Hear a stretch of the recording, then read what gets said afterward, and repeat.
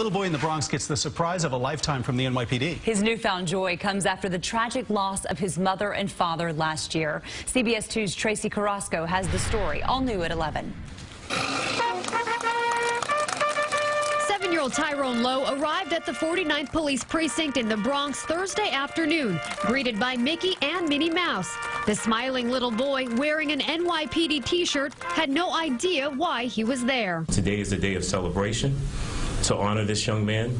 Uh, with his bravery. Captain Keith Walton and officers with the 4-9 have taken a special interest in Tyrone since the murder-suicide of his parents last December. The young boy, only six at the time, was in the apartment when his father shot his mother.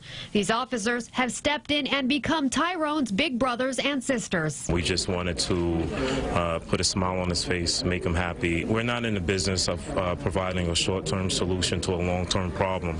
So what we wanted to do was invest in his future. So for the last eight months, officers in the precinct collected donations, held fundraisers, raffles, and even recycled cans to create a college scholarship for Tyrone. They presented the boy with a check for $5,000, along with a surprise trip to Disney World. Dreams do come true. A trip of a lifetime for this little boy. I want to go on the slides. I want to see all the cats.